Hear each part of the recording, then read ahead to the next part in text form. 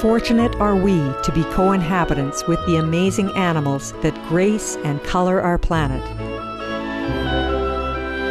In countless ways, they add beauty and joy to our lives.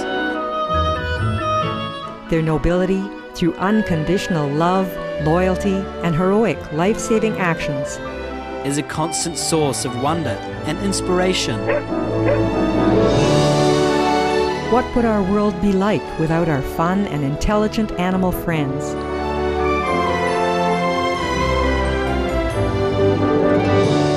We simply could not imagine it. Thanks be to the Providence for all the cherished animals. May we always honor their God given precious lives as we honor a part of ourselves.